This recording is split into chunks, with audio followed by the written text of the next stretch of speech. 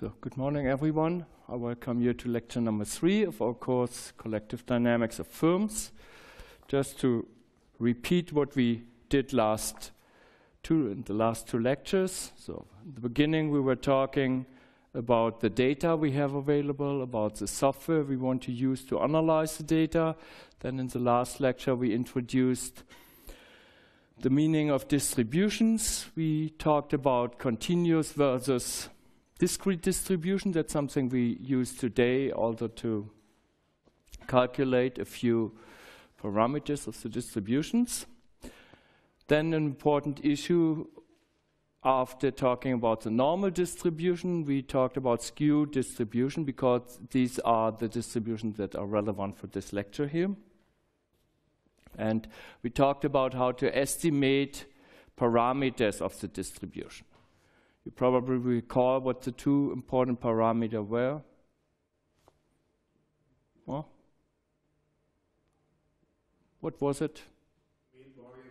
yeah, mean and variance, correct. And we needed an expression that relates to the data to calculate this. Yeah? So the assumption is not that the professor writes down what the mu is or the sigma, so, but you calculate it from the data. Today, we first introduce another kind of skew distribution. Last week, we talked about the log normal distribution. Today, we talk about the power law. And then we are trying to apply this to the firm data, as we have promised in the beginning, by noticing some so-called stylized facts. So these are statistical regularities that we see in the data. We talk about two stylized facts today. One is regarding the firm size distribution, and the other one is regarding the growth rate distribution. And we also talk about a specific method to use uh, in order to detect deviations from these distributions. So, let me introduce in the beginning the second candidate for a skew distribution. Remember, last week we spent a lot of time on introducing the log normal distribution, and the second candidate, as I already mentioned, was the power law. We characterize the power law first by a probability density distribution, and secondly, also by the cumulative distribution. So I already mentioned this in the last lecture, the probability density is given by this kind of expression, 1 divided by x, and there is an exponent alpha. So that is called a power law because that's the power, yeah? the exponent there. You see that you cannot really apply this to very small values, values close to zero, because then the whole thing diverges, right? So the minimum value, if you think of the firm size distribution and you measure firm size in number of employees is certainly one, so we shouldn't have a problem here, right? So if we measure X in terms of employees. The parameter, if you write it like this, should be larger than zero. And we first have to determine the normalization constant. How do we do this? We just integrate over the whole distribution and then uh, set this uh, area to 1 in order to calculate the C. That is what we do. That's a normalization here. So we calculate this integral. So we get an expression like this. Everyone is certainly able to do this. Uh, and then by uh, using this expression, we get a normalization constant C that looks like this. The most important issue here is that it depends on the minimum value at which we start to think about this power law distribution. Some people kindly ignore the x mean. So you cannot ignore it. We will see it afterwards when we talk about examples. You cannot ignore it. First of all, because you need to define it for the normalization. And secondly, uh, you will see that uh, some of the values do not display a power law behavior over the whole range of x. Can be beginning something differently with the power law tail. Then. So that means whenever we think where the power law tail should start, we define the x min. Okay. So that means with this normalization constant, we have an expression like this. From here, already an important restriction for the alpha follows. The alpha has to be larger than 1. That's very important. If you have an alpha less than 1, it doesn't make any sense. Right? And the usual expression for this power law that looks like this with the normalization and with the x min is we take the logarithm of these two sides. So we take the logarithm, then the alpha, which is the interesting parameter here, appears in front of the logarithm. So in fact, we have a linear function here where the slope of the linear function gives us the alpha. Because there is a minus alpha, and we talked about a positive alpha here, that's a negative slope, right? So that's what you see here. And the meaning can be better described in this picture here. Here you see the logarithmic plot. It's a log-log plot which refers to the last line of the, the previous slide. And here you see it's a straight line with the negative slope indicates the alpha. That's the idea. The real meaning of the power law becomes more obvious if you look into the non-logarithmic scales. That's like here. Let's assume you have a number of values, 10,000. You know? observations from a data set, and you see most of them are like between 0 and 1. And then you have occasionally one, two, or three of these values that are three, four, or five, right? So then you say, well, this can be outliers. Who knows what happened at that particular day? Maybe there was a sunspot, and then we saw these irregularities and these kind of things. So, from looking into the data, in particular, if you have the normal distribution, the Gaussian distribution as your null hypothesis, you would clearly characterize these values here as outliers because they have a very, they are very rare. Yeah? They have a very low probability to occur. And therefore, you may be inclined to drop this. But in fact, that's the important message here. They may belong to the same distribution, namely to such a power law distribution, just that your null hypothesis, that everything should be close to these values of 0 and 1, that your null hypothesis is wrong. You understand what I mean, right? An outlier is only an outlier with respect to what you think of the underlying distribution. If you think it's a normal distribution, then that's an outlier. Therefore, the best thing is to test other hypotheses, for example, skew distributions, in order to find out whether this is really an outlier or whether it is on such a plot here just with a very, very low probability. So 1 to uh, 10 to the minus 6 means you have a million observation. One of these is this one, right? So that's the meaning of it. Now you think of it. These are really rare events, but it's useful to test these kind of things. Okay.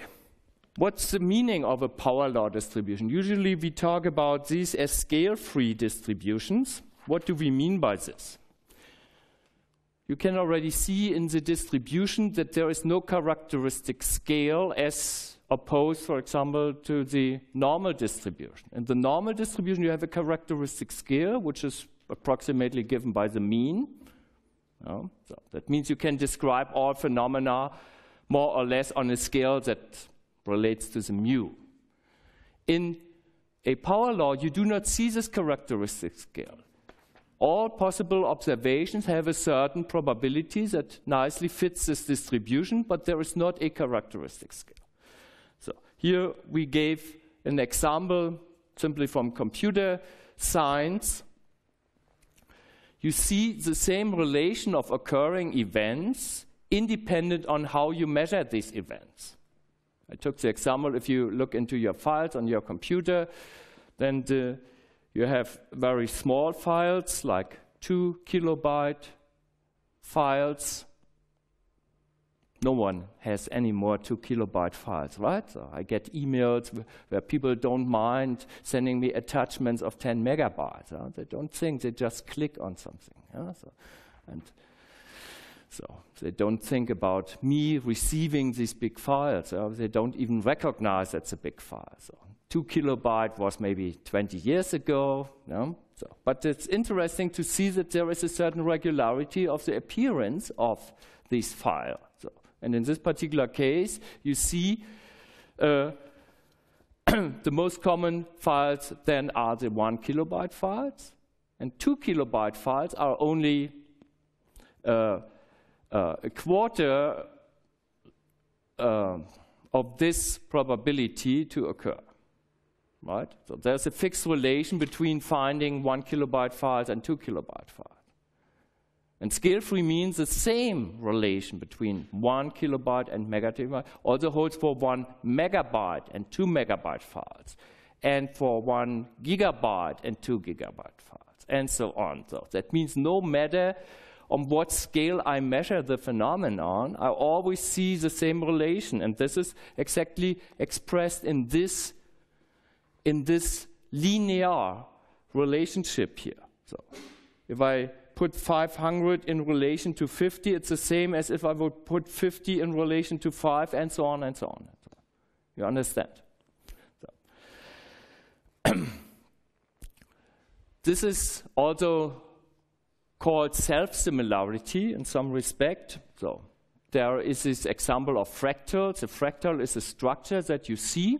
For example, if you have a particular pattern, it has this dendritic structure with some, you know, with some. There's a structure that uh, has arms, for example. It looks very colorful. I don't have an example right now. Maybe we should put one of these. So, and then you zoom into the structure, right? You zoom into the one of the wings of this dendrite, right? And then you see the same structure again, a small dendrite. And then you zoom into the small dendrite and look into the structure of the small dendrite, and you see the same thing again, right? So that means no matter at what level you look into the fractal, you always see the same kind of pattern in a statistical sense. That is the meaning of self similarity. You can zoom in and out, it's always the same. That's the meaning of a fractal, and that's the meaning of self similarity. Do we have this in real life? If you think of your body, for example, is this the case? Yes. yes? Why?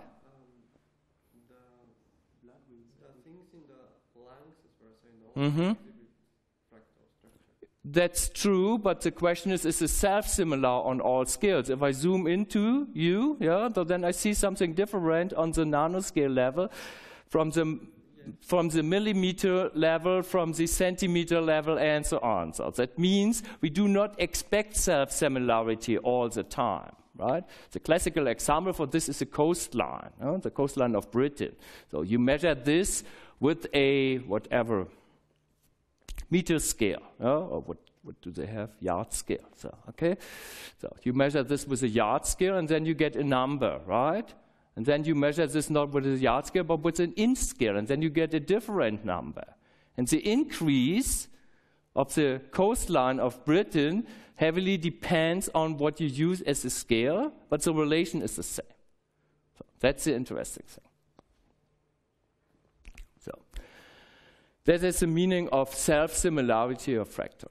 We can describe this mathematically by extracting this prefactor which characterizes the scale actually. Yeah?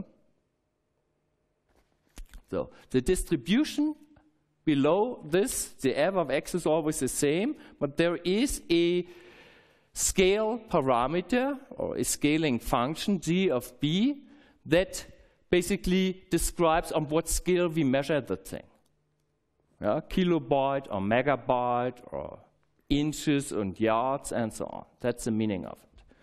So, conclusion, what I want to tell you by, by talking about the body who does not display a fractal structure on all scales is most phenomena are not self-similar. Only some phenomena are self-similar, right? And we have to test this hypothesis, really careful. Okay. Let me talk about the moments of the distribution. Remember, we want to describe the distribution by the mean and by the variance. So put my clock here. So then the mean is calculated as the first moment of the distribution. So that means so that's the first moment, x times f of x integrated over the whole range of values which start as by at x mean and then go to infinity. And then this is the expression for the uh, for the mean value. So remember that we have already calculated the normalization constant on the previous slide. And this means we get something like this. From here, you recognize a second important restriction on the alpha. The mean value is only defined if the alpha is at least 2. So there are cases where the alpha is not larger than 2. So I gave a few solar flares, for example, these are these outbreaks on the sun. So, but also wars. If you measure the size of human conflicts, wars, in terms of um, casualties, dead people, then you see a power law behavior, but the alpha is less than 2. It's still a power law, but it doesn't have a mean. It has to be larger than 1, that's what we found out, but the mean is only defined if the alpha is larger than 2. I come to this in a moment on another slide again. We talk about the meaning, I think. Let me see. Oh, not really, so. Okay. What does it mean? So let's discuss this here. What does it mean if this distribution doesn't have a mean? So let's assume I give you these 10,000 data points. And of course, you can easily calculate the mean, right? Why can you calculate the mean? because I just gave you 10,000 data points, right? And the mean, of course, can be calculated from the sample size. And then you get a value, right? Something. Now I give you a million data points. So you would say I have a better statistics, right? So 10,000 to a million. What's the impact of this on the mean? It will be very different, right? That's the meaning. So it means the more data you get, you can get all sorts of values of the mu dependent on what your data size is. You understand this? So, in practical circumstances, you do not recognize that you cannot calculate the mean because for a finite sample, you can always do this. But this value changes if you go for larger or smaller data sets. That's the important message. Yeah? Thank you. So then we can also calculate the second moment, which is the mean square or the variance. And then we see, in the same manner as we do here, this is only defined if the alpha is between 2 and 3. No. That means in in most, I mean, it can be also less than 2, of course. So, but it cannot be larger than 3. If it is larger than 3, then the variance doesn't have any meaning here. So we have a power law, but the alpha has to be at, at least 1. If it is uh, below 2, I don't have a mean. And if it is above 3, I don't have a variance. What does it mean I don't have a variance? Again, the same discussion. If I give you a data set, you can calculate something and can declare that's this sigma. But the sigma heavily changes with what we get in terms of, uh, how it converges dependent on the data set. Right. Okay. So what kind of data follow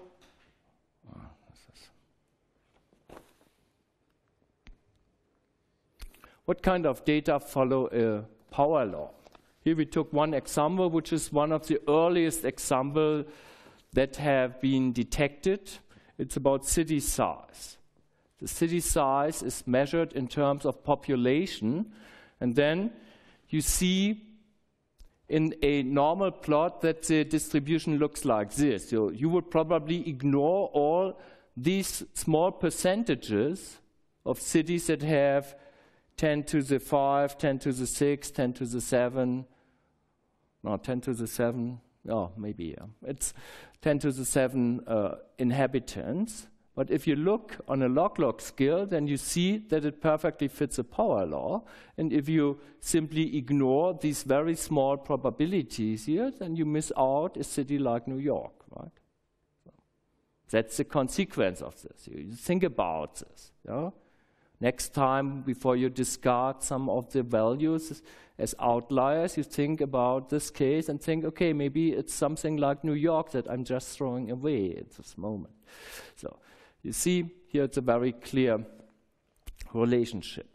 There are a number of yeah, common sayings that refer to the scale-free or the power law behavior. So I took a few of these. So 80% of the people only do 20% of the work. Or put it the other way around, 20% of the people do 80% of the work, right? That's an important consequence that holds everywhere. Right? Only a few people really feel responsible, and the rest feels responsible to a lesser degree. You know?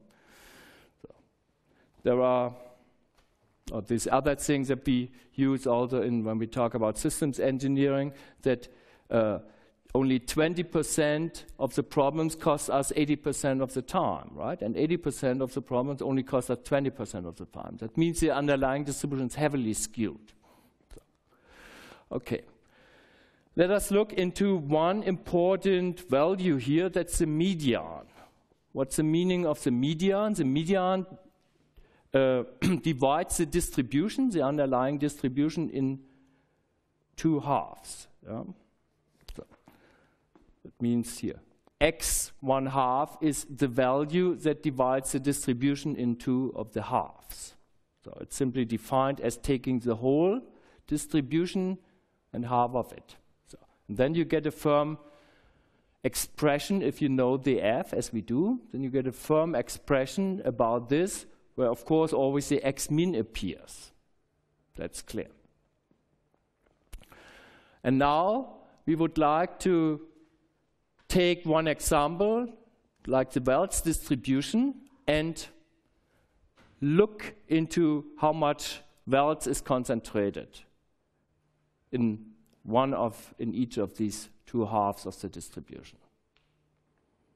If you think of this, then you would maybe easily argue, yeah, because it's a median that divides the distribution in one half, then one half of the world should be on one side and the other half of the world should be on the other side. What's wrong with this argument? That's not the interpretation. What's wrong with this? Who wants to argue about this? Yes, can you, Alex, can you say it loudly for everyone? Here we compare the two areas. Yeah. In this case, because we integrate here, we compare the two, we compare the two areas. Yeah. That is a very important thought. The x is the value that divides the distribution, but we compare the two areas, and in one of the area can be much more mass than in the other area. In particular, if you have a skewed distribution. What will be the situation for the normal distribution? Pardon me? It's the same, right? So, so usually the trap, the mental trap is you think it's the same, right? There's a richer half and a poorer half, so but the, the mass in both of these is the same. That's wrong. So if you calculate this, then we see we can empirically determine the alpha, that's 2.1. So, and then the consequence is that 94% of the wealth is distributed in the richer half.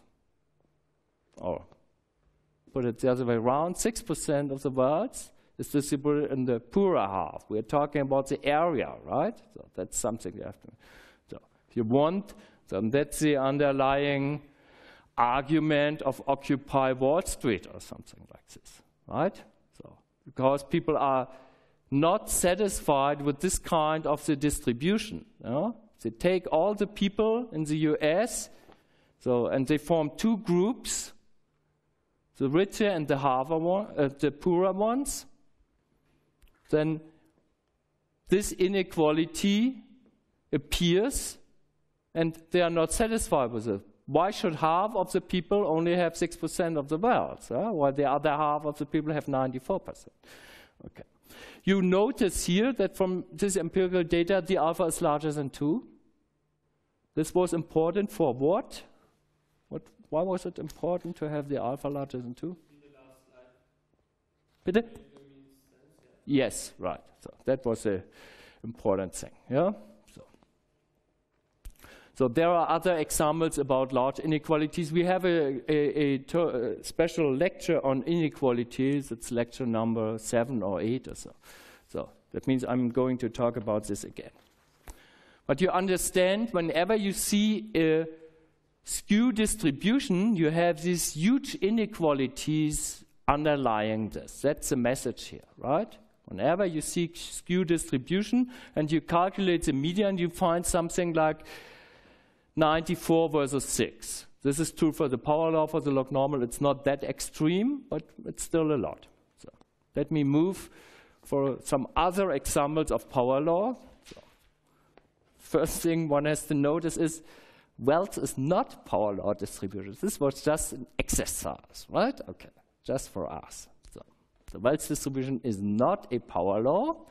If we look into the total wealth distribution, only the wealth of the richest American is a power law distribution. The wealth of the poorest American, as we see here on this slide, is more or less a Boltzmann distribution, or an exponential distribution, as you call it. That's important to see. So, if you have the data, um, then you have a long tail. I have to show it this way. Yeah? You have a long tail, and then you have something curved here. So the null hypothesis is it has to be one and the same distribution, right? And then you do all the effort to fit this curved part into your power law, right? And people do this. You know? In fact, this first part is described by different distribution. And the two distributions just merge at a particular point, and then it is a power law. So that's the message here, right? So you should not assume that it on all scales fits the same distribution. Therefore, I talked so much about this x mean. X mean is a very important variable here. Okay, so you can read this yourself, but the the word frequency was the first famous example. So that was empirically studied by Klaus Zipf uh, on one of these slides, I wrote two notes about his work. Yeah, you should check this out. So this is a really yeah, famous and really interdisciplinary work, one has to say. So, yeah? Okay. Here you see the number of citations that papers receive. That's an important empirical fact. If you want to predict the probability that your paper receives more than one citation, more than 10 citations, more than 100, more than 1,000, and so on. And all these probabilities, that's something you can test empirically, lie on the same distribution. So the probability that your paper receives 10,000 citations is not zero, right? So that's the important message. It's a non-negligible probability, but it's rather small. And the question is whether it appears or it occurs for your paper or the paper of someone else. Right? So, okay. All right. So it's very important to think of all these examples where we do not find a power law. Because the power law has become such an important mindset that all the people think they need to fit everything to a power law. Right? The editor in chief, I see lots of papers that are submitted by people to my journals, and so most of them do something like this. They cannot imagine that maybe other distributions are as good as candidates as the power law. Question about this? No.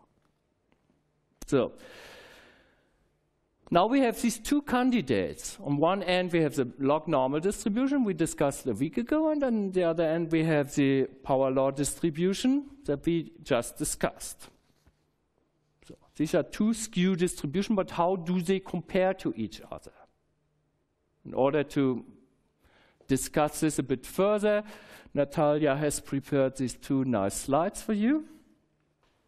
So you already know what the log normal distribution is. It's a normal distribution, as you see here, but just for the logarithm of the variable, not for the x, right? So you see, this is a normal distribution, but instead of the x, we have the ln x here. Now we would like to know what the distribution of the x is. Then we have to do this variable transformation that I discussed last week and recommended you to do. So this is the variable transformation we want to get from ln x to x. Then I have to consider this uh, derivation here, which gives me the 1 over x. Last week we had the discussion where is the 1 over x coming from. So there is the first mistake. This is not equal, but uh, proportional to. Right? So we dropped the normalization constant.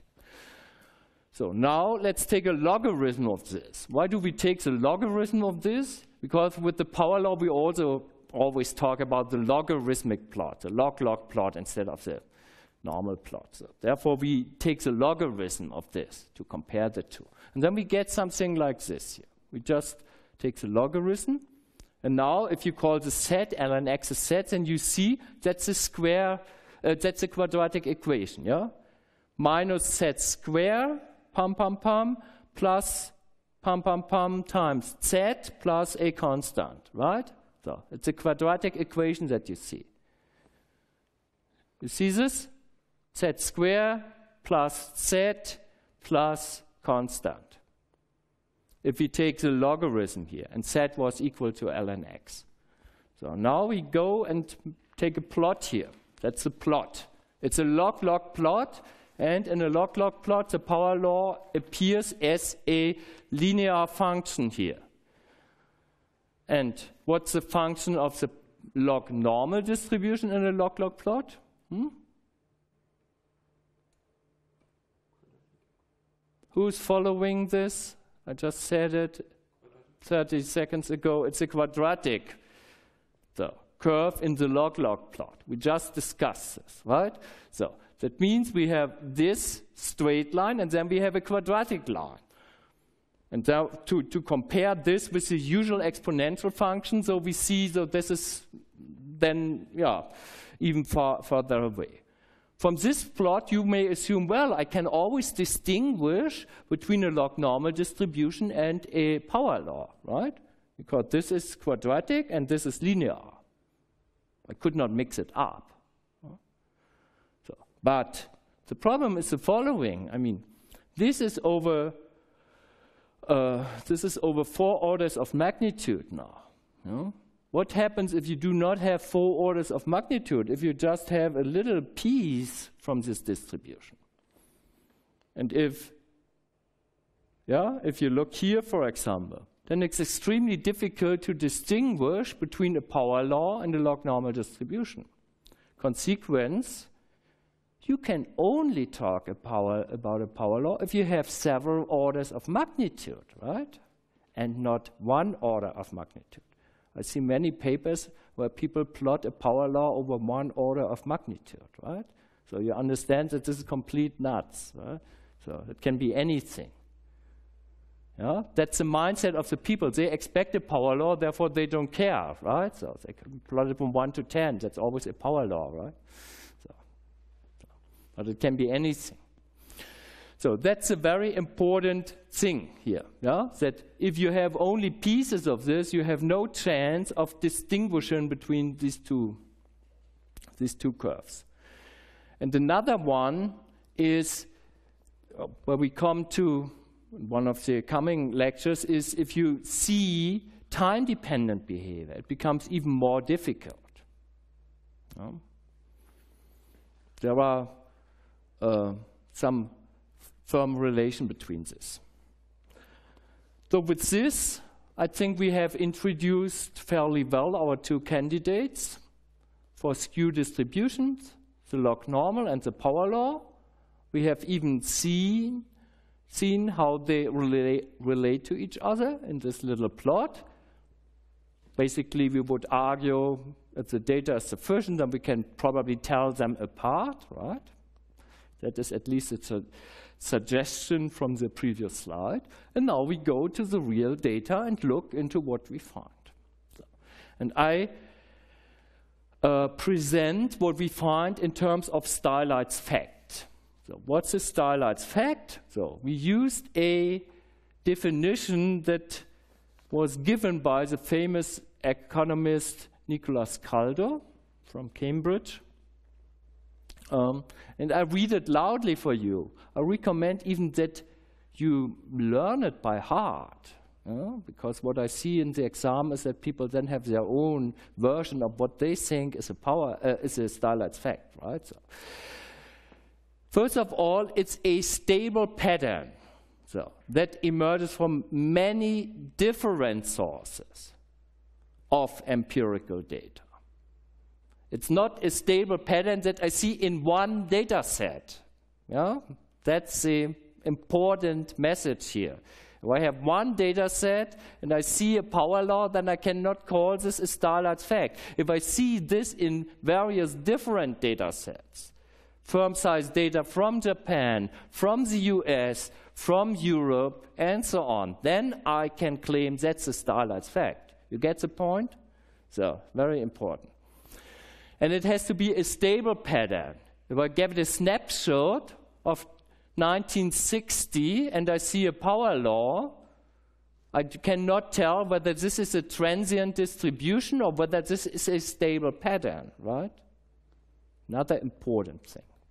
So, so that means, as Kaldor says, observations that are made in so many contexts that they are widely understood to be empirical truths to which theory must fit. So, the important notion here is we believe that this is true, what we see as this emerging pattern repeatedly, but we do not have an explanation for this, right? That's the important thing. The stylized fact is a fact, but not an explanation of something that we see. You understand the difference? We observe this, but we have no idea where it comes from. Conclusion it's extremely nice if people send me papers where they show me lots of stylized facts, but this is basically, these are empirical plots, but does not help us to understand what's the underlying reason for this. So If you want to do science, then you have to deal with this other side of the problem as well, right? You present the stylized fact, but then you also have to struggle to find out what are the microscopic interaction dynamics that produces this kind of stylized fact. You cannot ignore this. Yeah? Presenting a power law is not a scientific paper, yeah? period. So. Okay, so, what we do with the stylized fact is we use them as a reference point when we do modeling. So the other opposite end of these cases is as bad as the first one, right? So then you see all these sorts of computer simulations where people start with free assumptions on how agents should interact and then they present the results, right? Of course, that's a result of a computer simulation, but does it have any meaning? How can I know that this result of my computer simulation is correct? I can only know it by comparing it to some empirical data. But if you have a agent-based model about household income and expenditure, then you would probably not meet the outcome of these computer simulations with exactly an empirical finding, right? That's not possible. So therefore, you compare a stylized outcome of your simulation with a stylized outcome of the empirical observation. That is how you do it. This is very important to understand. Yeah? If you want to know, do am I right or wrong with my computer simulation or with my modeling, then the only way to find this out is to link this to the stylized facts. Because if you really point to a particular empirical finding, then in most of the cases you are probably wrong, right? Because household 27 may not have the predicted 1,525 francs income, right? So you've never met this with a computer simulation. You only meet it in a statistical sense. Okay, so that's very important. You think a little bit about the meaning of a stylized fact, because that's important. So here, this is exactly what I already said. How can we compare models and empirics? Not one by one, right? The only thing we can do is we compare the statistical outcome of the computer simulations and put it in relation to the statistical outcome of the empirical observations. So, model validation, again, is only possible on the level of the stylized fact. Why is this? This has to do a bit with the type of models that we use here. Who uh, don't know who attended this course, Systems Dynamics and Complexity? Was there anyone? One, two, three, a few. Okay, so there we talk about these two model classes, one, right? So models as accurate as possible, flight simulator type, and models that show us stylized facts. It was, I think, the Ising model of ferromagnetism or these kind of things. Do you remember this? What I want to say is there are other type of models that can indeed be matched to specific experiments.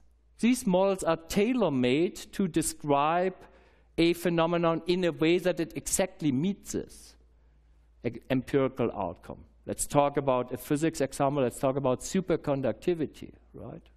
So there are models in physics that predict yeah, to the second digit after the comma, what is the critical temperature? So they are extremely accurate. And then you go to the experiment and you find exactly this value, right? So that's a great thing.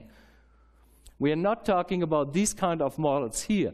We are talking here about, star, uh, about models that capture the, the, the stylized dynamics of economics, right? We are hardly able to do this on the level of the superconductivity, because agents in an economic meaning are not electrons and atoms, right? Who have a very narrow distribution of their um, of their properties, right? So all the same charge, the same mass, the same type of interaction, and so on, right? So that's the difference here. Economic agents are different. Therefore, we will not have a model that exactly predicts something very specifically. And therefore, we need to compare it in this kind of way. So, with this, we have a break of 10 minutes, and then we talk about firm size and firm growth afterwards. Right? Let us continue, please, with the second part of the lecture. So we talked about stylized facts now. We talked about uh, the relation to computer simulation, and this is an important topic, as I said, to help you to understand the meaning of it. So, and now we come to the stylized facts. So, Remember that we wanted to look into firm size in the beginning.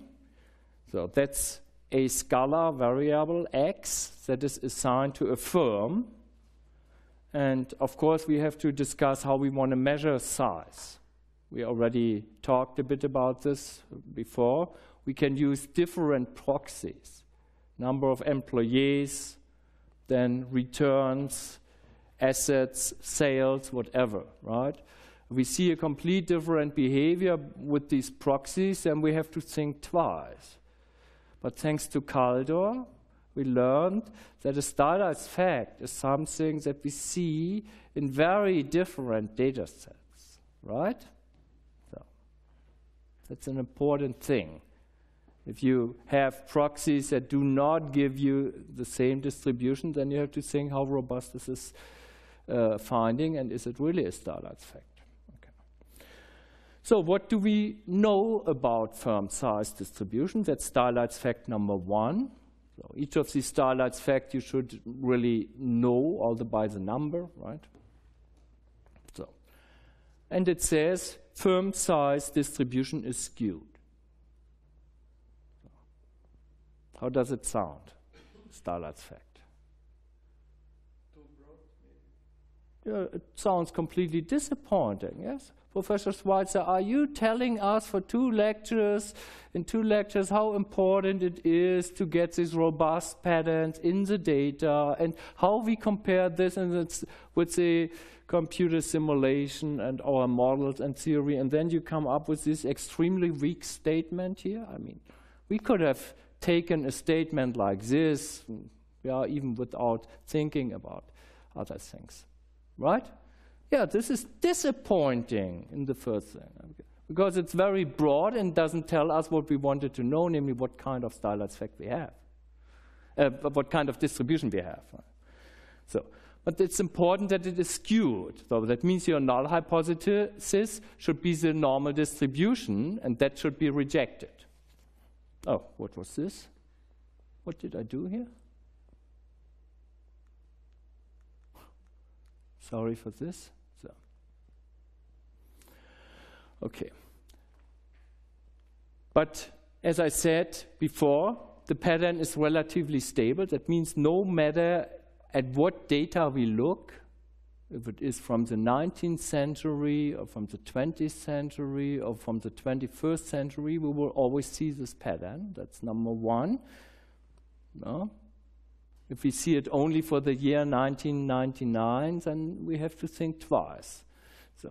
But the stylized fact exactly points to the fact that the distribution is controversial. So that means if we have these two candidates, power law and log normal, we cannot really distinguish between whether this is true or the other one is true. And that's something we look at now in detail. So this is data that uh, is analyzed by colleagues of mine from Boston. It's about all publicly traded US manufacturing companies over 20 years. So, all publicly traded US manufacturing companies. So we are talking about a big data set here, right? Because everything that is known about these US firms have been taken into account. So publicly traded refers to the stock market. So manufacturing refers to this. Can you recall what the SIC was? I used this in the very beginning of my course here in lecture number one. Who recalls what the SIC was? It's an industry code, exactly. So, and 2000, but 3000, uh, for, to 3099 refers to manufacturing, right? So that means you can then go back to this classification, can look it up. Yeah, that's the important thing. So we are not talking about fiat here, right? Because fiat had a SIC code very different from this one. Remember that? Was not in manufacturing, it was in managing and business and so on. Recall that? So this is very important. We are not talking about every firm on earth We are talking about those firms that are in the manufacturing sector, that are producing something. We don't talk about financial services here, right? Very important to understand. Therefore, the SIC number is important. Then we talk about 20 years. And the, as we can see here, the size of the of the this um, company is proxied not by employees, as we usually do, but by sales. So that means we got the sales data of all these companies. So what do we see here? What is this? Can you explain it?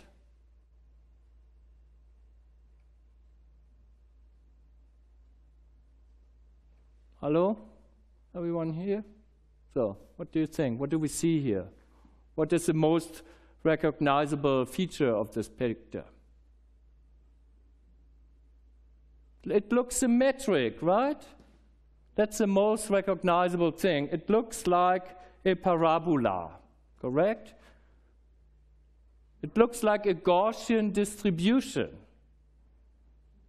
So that's the most recognizable feature. It looks like a Gaussian distribution. This is different from all these linear functions that I have shown just two slides ago.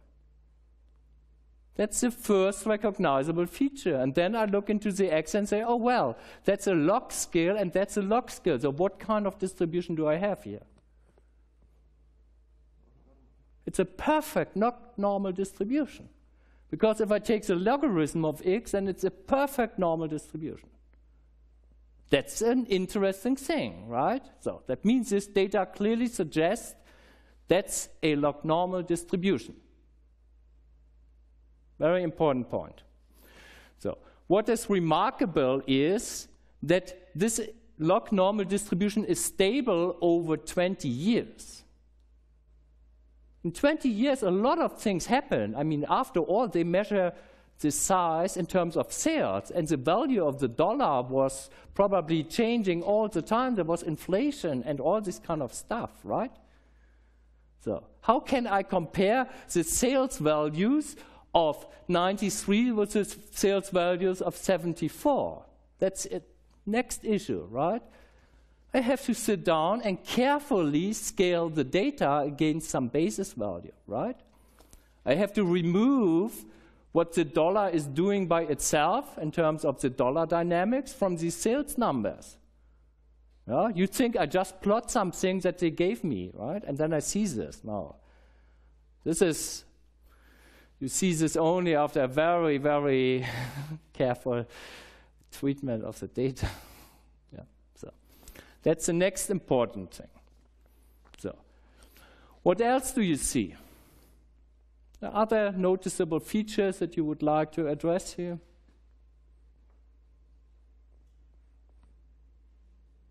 Hmm? Mr. What's your name? Me? Yeah. Olivier. Olivier. So, what do, what do you see?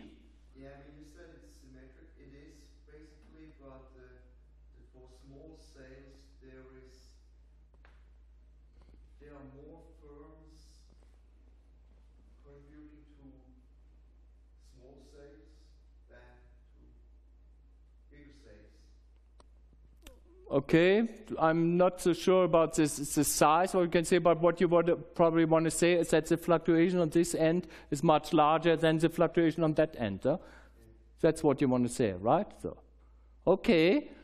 So this is a very important notion here, because we see that certainly small firms have quite a bit of a dynamics within these 20 years, Whereas with big firms, we do not really notice it because we are talking, there can be also large fluctuations, but thanks to this scale, we don't see them, right? So 10 to the 10, and then 10 to the 11, 10 to the 12. So these are huge numbers, right? So this, this is 10 to the 3. So, okay. So, but we notice that there is a larger volatility for smaller firms. There's less volatility for bigger firms. That's something we have to look into when we later talk about growth rates. Well, the life of smaller firms seems to be more interesting if you want to see this in a positive way, right? So. Okay. So this is exactly what I said. We see that it is stable over year, years. So this is also due to the fact that the data have been rescaled. So that means all the external dynamics, as I said, about the value of the uh, underlying currency and so on has been removed. So the larger volatility is an important fact that will uh, will interest us later on again. So now, what did we say? We said it has to be a observation that occurs in so many different data sets that we think that this is true. Okay, so let's take another data set. Right? So before we talked about all publicly trading manufacturing firms in the US. Now we are talking about all firms in the US. That's not the same, right? And then we see something like this. So that's not a log normal distribution, right? You just compare the two pictures. This is clearly a power law, and a power law that spans from 1 to 10 to the 6. So it's a huge scale, right? So what is the difference between these two plots? That's so the first thing that you recognize even before is it's not the same observation. So I'm not allowed to call a stylized fact that this is a power law. I'm also not allowed to call a stylized fact that this is a log normal distribution because this is not a robust observation. Instead, the only thing I can conclude from these different data sets, it's skewed. So that's why we call the stylized fact there is a skewed distribution underlying it. But we are not specific unfortunately, about this. And why is this the case that we find it either in this data and in that data? Okay. That is written here. So, first of all, we have a different measure of the size, a different proxy. Before it was sales, here we talk about employees, and there are other like measures as well, like receipt. So, okay. This data is only about one year. It's not from 20 different years as we have seen before. So, and so people looked into other data as well to find out what the power law is. But the most important difference is, I hope it's on the next slide. Yeah, this one. The underlying data set is a very different one. Before, we talked about the CompuStat database. That's a commercial database that you can buy. And then you look into the firms here, and you see that there is a bias in the data set towards larger firms. Okay? Whereas the census data is about all firms, and most of all firms are not large, but small, right? So that means if you neglect the smaller firms, as the CompuStat database is doing, then you see this shape curve in the beginning that refers to a log normal distribution. But if you have a better statistic on the small firms, as the US Census Bureau gets, then you see it's still skewed. Oh, sorry. So we're talking about this area here, right here. This area is skewed. Although in the log normal distribution, you didn't see it because I, uh, I mean, I can go back here. So this is also skewed. Yeah, if you zoom in, that's a more or less a straight line, right? So we are talking about this area here, which applies to small firms. So if you have better data, then you see it's going like that.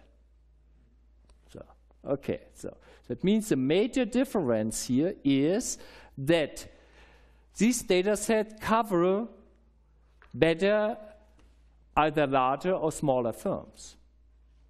So that is the important issue. No? That is why you find, in one case, a log normal distribution, and in the other case, you find a more or less power law. We're not talking about the same data here. That is very important. But there are other comments that I have put up here in the beginning. If we go for the time evolution, and we have to do this when we talk about this 20 year time period, then we see that the log normal distribution will, that's not on this, in this lecture, but I think in the next lecture or the upper next lecture. And we see that the, no, it's in the modeling part, now I remember it. There you can see that the log normal distribution has a time evolution that makes it indistinguishable from a power law, at least in the tail.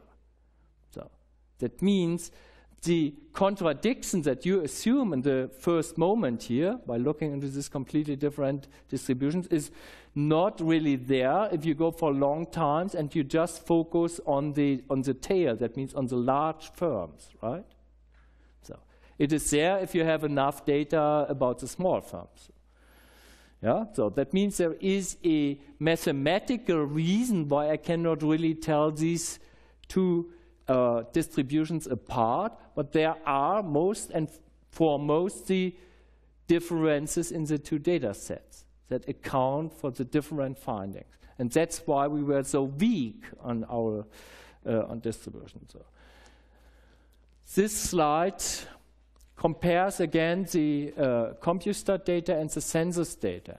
And you see here, so first of all, the census data is much larger, 5.5 million firms. And then you see that the coverage is different. Yeah? So here in the CompuStat, see that most of the firms are in this area. And here you see that most of the firms are in smaller uh, size classes. So what is size class zero? What's the meaning of that? That's a one man company, yeah? from zero to one. That's a one man company. And the one to four is everything from two, three to four, because this gives you the lower boundary that should not fall into your class, and this gives you the upper boundary, right? So, now, the, lower boundary should fall into your class, and the upper boundary should not fall into your class. So that means everything zero, uh, no, the lower should not fall into your class, the upper should fall into your class. Okay, so this makes obvious that from different data sets you can expect different outcome. That means our theory is not as predictive as we would like to see, but we have to find out later when we talk about the modeling how we can match these two seemingly different distributions into one model that gives us either this and that. So it means from we now go like five lectures ahead and we talk about the microscopic models to reproduce this, and we have to come up with a microscopic interaction model that allows us to get either the log normal distribution or the power law we write a microscopic interaction model that only gives us the power law, then we probably miss a lot of things in this model because it can be only applied to a very special case, yeah? namely large data uh, uh, sets, for example, in, in, in CompuStat. Right? So we have to have a model that allows us to bridge between these two distributions. That's the task that we can already uh, uh get from this analysis. So now let's deal a bit with the power law that Mr. Axtell found in this one data set. So we would like to know what is the skewness of this power law. That means what's the alpha, right? So we have to calculate the alpha.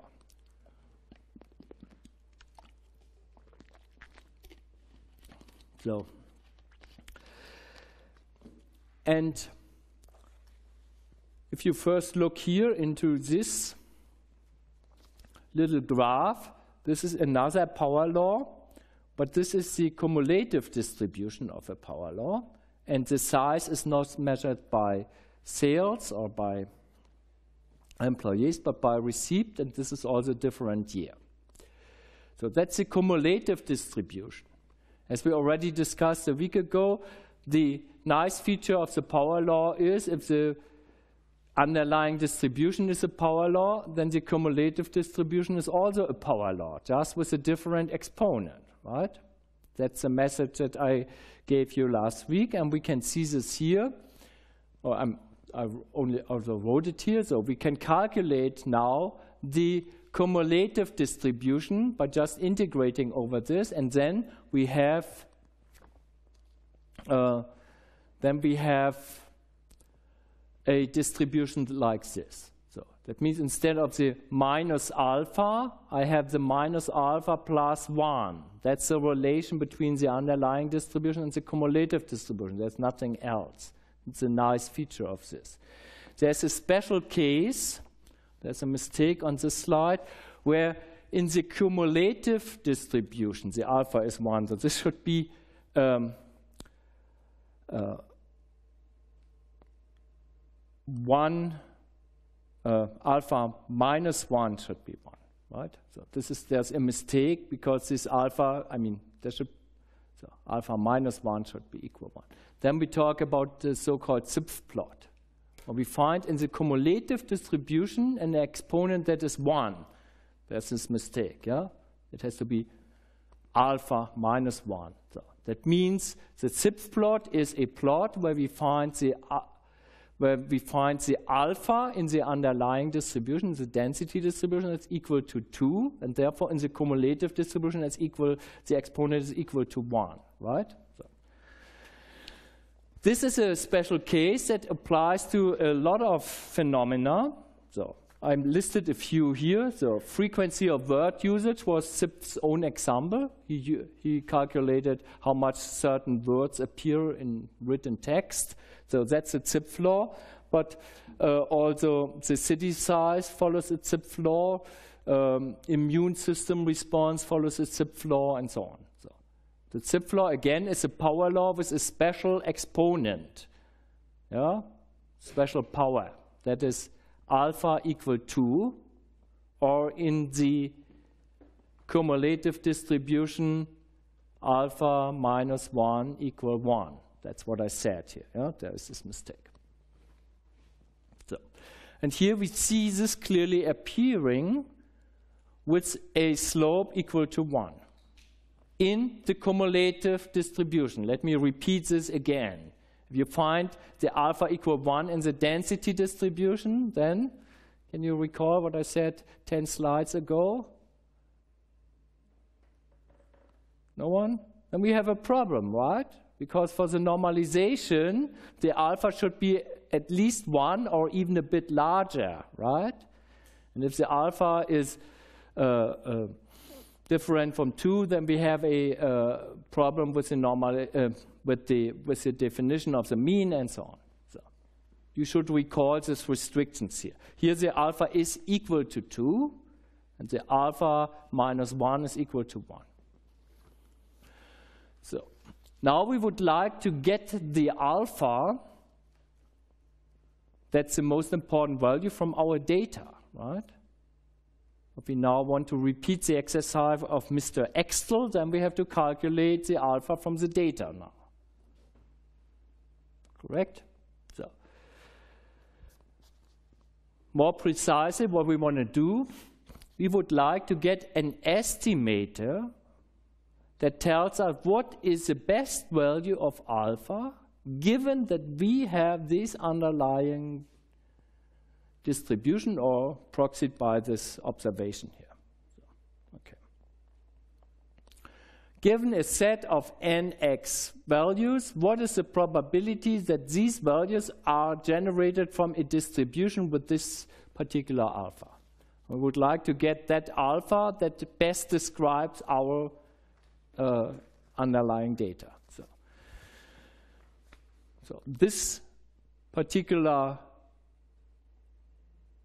uh, notion here with the I used it a week ago when we talked about maximum likelihood distribution. In this setting means given. So that means this here means given the xi, these are my observations, what is the alpha, right? This means given the alpha, what's the distribution of the xi? So, And the assumption here is for this that it follows a power law. Remember when we did our little exercise last week, we also had to take an, an, assumption for the underlying distribution. It was a normal distribution at that time. And then we tried to uh, then we tried to calculate what is the mu and the sigma that describe best our data set that's given, right? And here we do a similar exercise. We ask what is the alpha? Because if we know the alpha, then we also know the mu and the sigma if it is defined. Right? So what is the alpha that maximizes uh, our observation? Of course, there is a relation between these two probabilities. Yeah, so uh, that is given by the Bayes law. So the uh, probability that the alpha describes this set of observations of given x is related to the probability that I see this distribution given some alpha, right? So that's the relation of this. And in the paper by Mark Newman that I uh, mentioned on the next slide, there is an argument that this is approximately constant. I mentioned it here that you do not mix this up.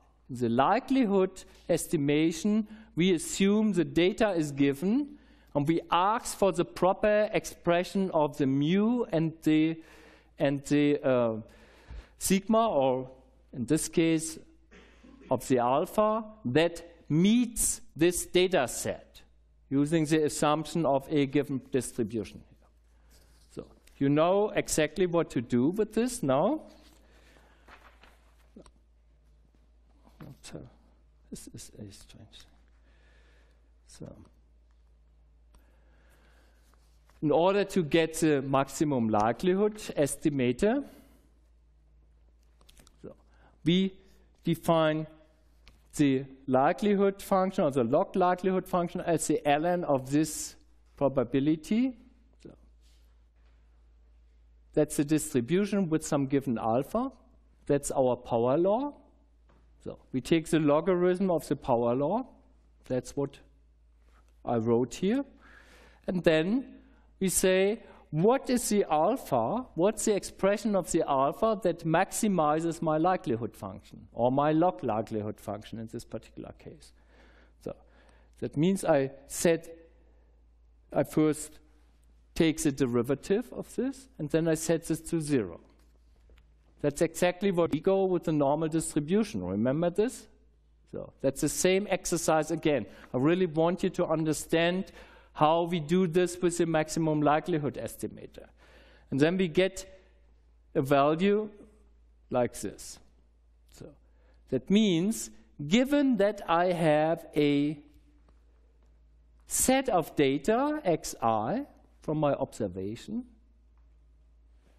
given this, and I have the hypothesis of this data being generated by a power law or from sampled from a power law, then I should calculate the alpha this way in order to have the best estimator for the alpha. Yes, please. Uh, I have a question. So initially, um, on the third slide, we can take the logarithm of both sides. Yes.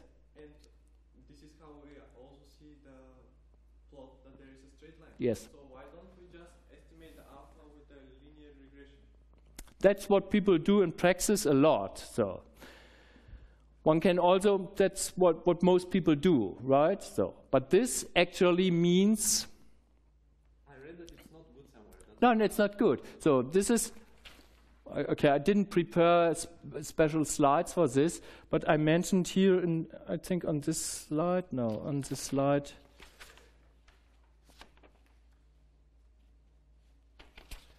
on one slide, I mentioned this paper by Mark Newman, who gives us an argument why we shouldn't do this.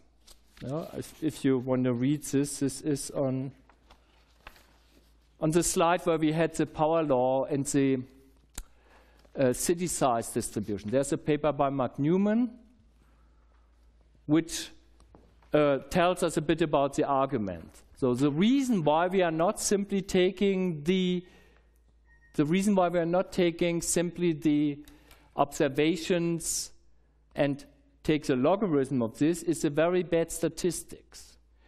What you notice here from this is uh, that we can calculate it from the cumulative distribution, the alpha, in a much more significant way as from the data. So you can see this here if you look into the statistical error. The statistical error gets smaller with n, as you can see here. Um,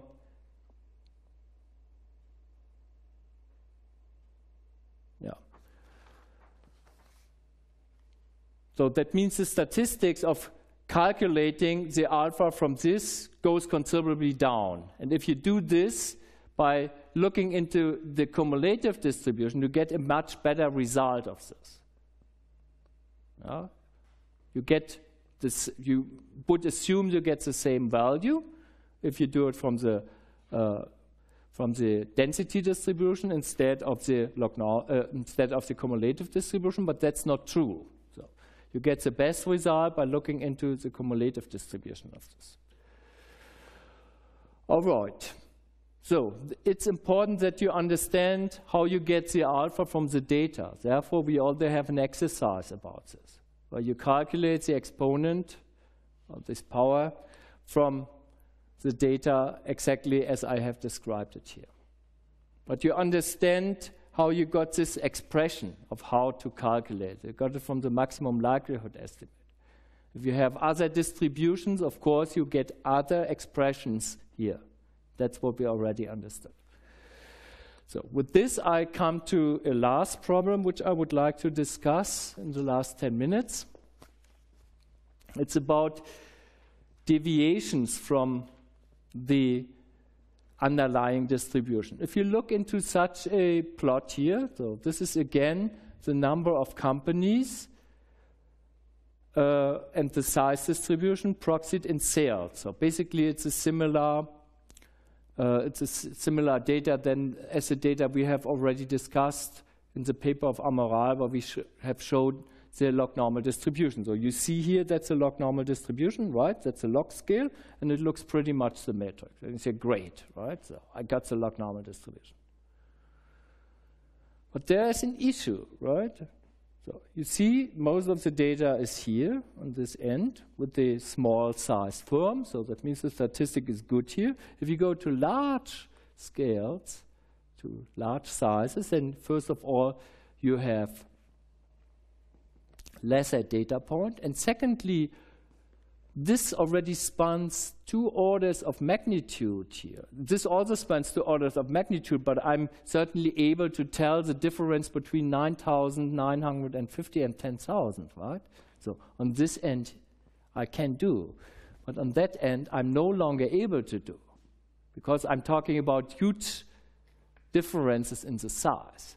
So the conclusion is that in the upper tail of the distribution, I have difficulties to tell whether this data is really on the log normal distribution or not. From this graph, it looks like this, right? So you would say, well, why not? So, okay, so this has to do with the spinning issues and all these kind of things. Yeah? So that means here for these firms, we have to put a question mark there. But there is a technique that allows us to investigate exactly this upper tail and to find out whether it matches the log normal distribution or not. And that's called the Zipf plot. So Mr. Zipf is very famous here now in this lecture. So. Okay. You should not mix this up with the Zipf distribution. So the Zipf distribution, who records this? I try to make this point quite often. Pardon me? Alpha equals 1 in the probability density function. That is wrong. That is wrong. That's exactly what I said. But you said it was on the on the slide. It's wrong. so. You said that this is wrong for the cumulative. No, no. I, I said it's I said it's the other way around. The Zipf plot, yeah, please. The Zipf plot is a particular power law where the alpha is equal to 2 in the density and is equal to 1 in the cumulative distribution function. That was a mistake on that slide. Therefore, I mentioned this several times. Alpha plus 1 is equal to 1. So, yeah? You get. Uh, yes, alpha. Sorry, alpha alpha minus one is equals to one. Yes, so that's correct. So yeah, the, the Zipf plot is a special plot, a special power law where the alpha is equal to two in the density function and equal to one in the cumulative function. Okay. And this should not be mixed up with the Zipf plot. I don't know why this is named after him again. So we usually call this a rank frequency plot. So Zipf dealt a lot with, uh, with uh, ranked distributions, of course. So this word frequency issue that I mentioned, or city sizes and so on. So what we do is we have our n observations here, and we assume that the distribution is known, which also means that the cumulative distribution is known, right? It can be a normal distribution, it can be uh, a log normal distribution, it can be a power law, everything. Yeah? So our assumption is that we somehow did the job finding out what distribution fits this data. That's the idea. By the way, we do this, I think, next week when we talk about the Kolmogorov-Smirnov test. So then that is a way to test if this is the log normal distribution or not. So let's assume that we know this. And now we do the following. We order these observations in a way that we start in such a, in such a way that the first value that we mention is the largest one. So it's in descending order here. If we talk about firm size, then the largest firm in the sample, probably General Electrics or something, so is then the one that appears first. So, and because it's an ordered set, there is one, two, three, and so on. So that means this little index i gives me what I call the rank. Rank one means the largest. Rank two means the second largest. Rank 3 means the third largest, and so on, right? And rank n means the smallest. In some cases, you order things in a different manner, you know, from smallest to largest, so therefore you have to keep this in mind. Rank 1 refers to the largest firm in this case. So that means if I have the xi from this ordered set, then the i tells me exactly what rank I have. Clear? So, and then now I can do a nice relation between the xi and the cumulative distribution function, which we uh, have written as a capital F in the last lecture. So we can show that there is a firm relation between the i and the cumulative distribution function. I don't have prepared a slide for uh, justifying this. Maybe we should do this next, next time. It's described in the paper that I mentioned on the previous slide. We got the data from. Yes. So it's a paper on Zipf plots and size distribution of firm. If you want to look this up, then there is a more detailed explanation. Maybe we should take it here in our thing. So there's a relation such that 1 minus f, where f is a cumulative distribution function, is precisely related to the rank of this observation. Well, that's the important thing.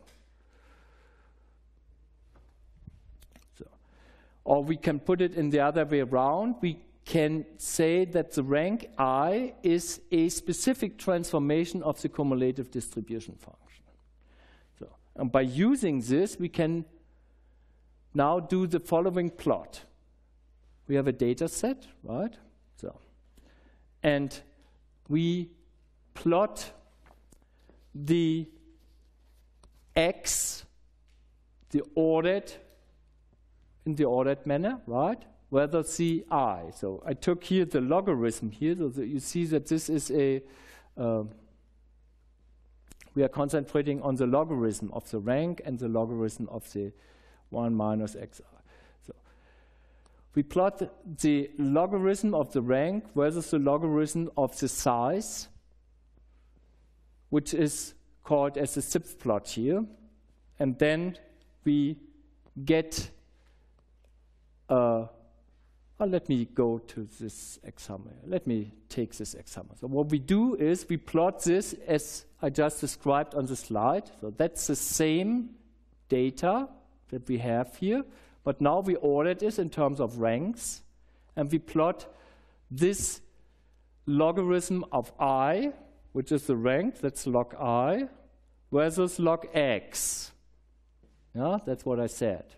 See this? This is log i, and this is log x. And then I get a picture like this, as you see it here. And then I look into the data. The data is this curve. Unfortunately, it's not in color. That is below the other one. Yeah, there are two curves. There's this data below, and there is the theoretical curve that is above. Where do I get the theoretical curve from? By assuming that the data follows a log normal distribution, right? So again, I plot logs i versus log xi. And I see that the normal the log normal distribution nicely fits the data as long as I talk about large ranks. What is large rank? What does it mean, a large rank of 1,000? It means a small firm. That means the small firms are probably very good described, very well described by the log normal distribution. But what happens here if I look into ranked 1 to 10? Then I notice, and please keep in mind that this is a logarithmic scale here, I notice a huge difference here. It means that the firms with the lower ranks do not fit uh, the log normal distribution or do not follow the log normal distribution. Instead, there is a considerable difference here. What are the firms of rank 1 to 10? These are the biggest firms because I started ordering with the biggest firm, right? So, so conclusion, small firms are nicely described by the log normal distribution function. Big firms are not nicely described by the log normal distribution function. Let's go back to the original figure. You could not have told this from this figure, right? You agree? Because it looks approximately the same. So that means the Zipf plot, as we calculated it here, is a way to project the differences out of these firms with the lower ranks, which are the bigger firms. And then you see whether or not they follow the same uh, underlying distribution or not. So in this case, you can clearly say up to a rank of 100 here. Um, this is no longer described by the log normal distribution, but by something else. So we are talking about the biggest firms here. The biggest 100 firms do not follow the log normal distribution.